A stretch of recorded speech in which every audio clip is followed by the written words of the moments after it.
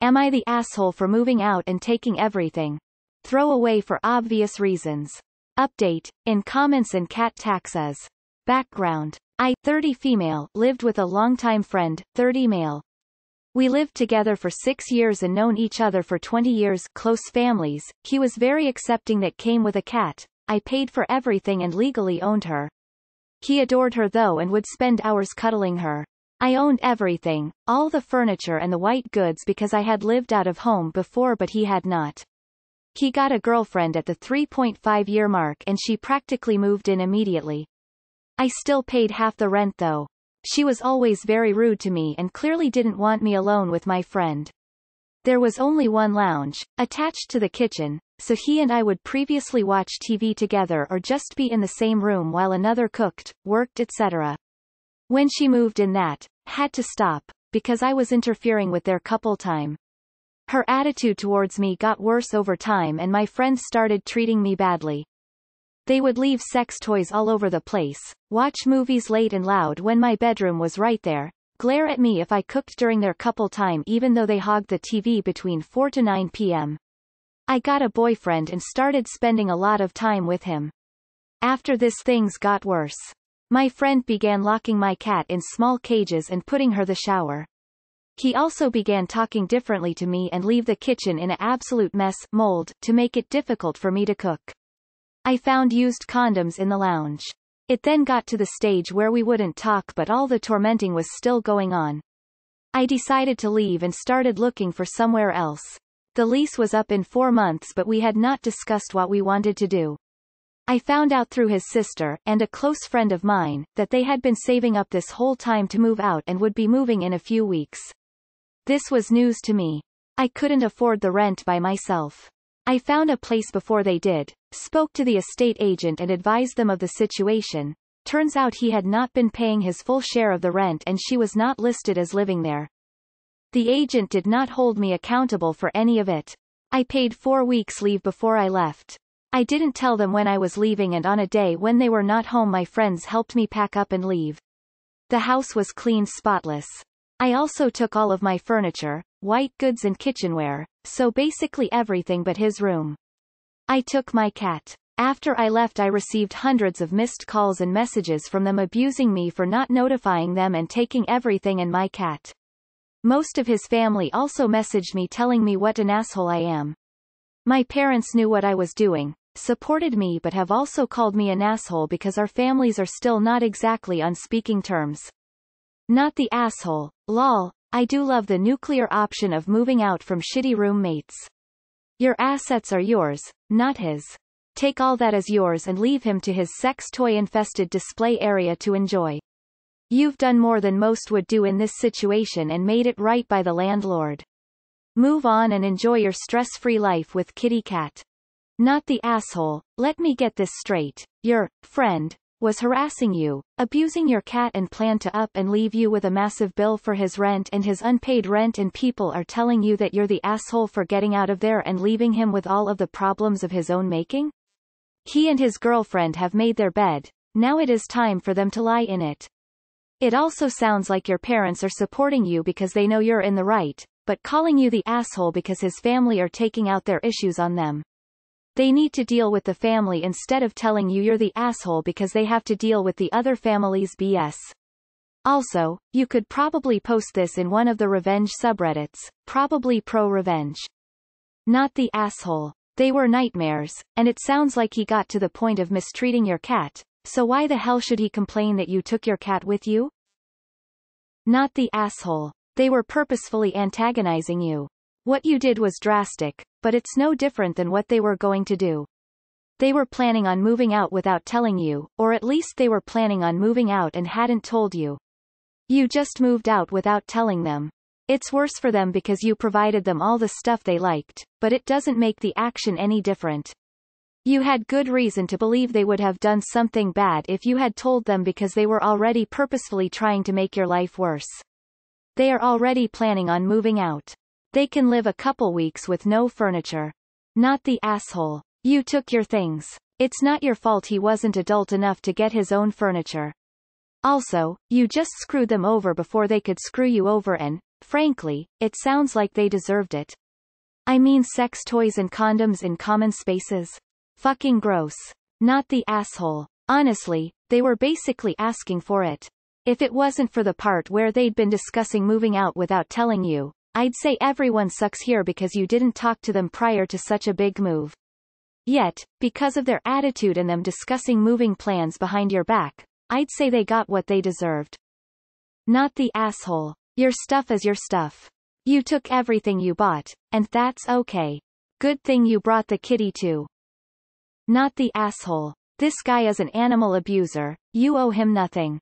My friend began locking my cat in small cages and putting her the shower. Not the asshole. Block them and forget about them. I'd do the same the moment they started to abuse my cat. It's unforgivable. Not the asshole. I did the same thing to similarly terrible roommates. The only difference is that I told them the night before, and only decided to take absolutely everything when they continued to be a-holes as I was moving out. I had been planning on leaving stuff I didn't need, but I just tossed it rather than let them have it. I also took a piece of the puzzle they were working on. Not the asshole. You did good to pay your share four weeks in advance considering he hadn't been paying his full half. Also, be glad that you got away from those slobs who don't know how to throw their condoms in the garbage. Not the asshole. I'm glad you were able to find a place and move out first, because they would have definitely taken all your stuff if they left first. Your parents need to tell his family that there are two sides to every story, and they need to stick up for you or tell his family to let it go. It's not their issue anyway. It's between you and your former roommate. Not the asshole. I don't see that they left you any choice but to leave and leave the way you did. What are white goods? Not the asshole. They put your cat in cages and in the shower? I would have been near violence if any roommate or friend did that to my baby. Good luck in your new place and good job getting out. Not the asshole. Your stuff was yours to take and they were being dicks. My first husband asked for a divorce out of the blue a year after the wedding. It was weird and sudden and he kept giving me different reasons, each one dumber than the last. He told me if I moved out and got my own place, I could take everything. So I did. Waited until he was gone and had friends come over and took everything except the couch and stuff that was exclusively his. Dude came home to no wife, no stuff and a couch to sleep on. His parents were livid with me for doing what he told me I could do, but I later found out the real reason he wanted a divorce was because he was cheating on me, so I regret nothing. You shouldn't, either. Not the asshole. I'd bet money that they left out how awful they were to live with. You should respond to each other person who is mad at you with a link to this post. Not the asshole. Also cat tax cat tax cat tax. Not the asshole big time, and my response to anyone asking would be, I took all the stuff that I bought and owned, and left all the stuff he bought and owned. I don't see what the problem is. Follow that by you blocking them if they still think you're an ah. Not the asshole. They're upset because you left and took all of your stuff before they could leave, take all of your stuff, and leave you with their unpaid bills. He's lucky you don't go after him for the 2.5 years where his girlfriend didn't pay one-third of the rent. By rights, you're owed money in this situation, but they're still abusing you. They abused you mentally, emotionally, and financially for years, and I'm proud of you for escaping this abuse in a safe manner. Good luck to you op. Please give us an update post in three months to let us know how you're doing in your new place. Not the asshole. You took what was yours and moved out.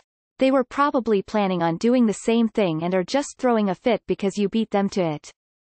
NTA at all. Good job getting out instead of having them stiff you with a flat you can't afford with no notice. You just beat them to it and that's why they are mad. Bad people. Not the asshole. Like, I can't figure any words for a situation where you could be called an asshole here. Not the asshole. Sounds like you left two cheapskates in the dust. Tell them to kick rocks.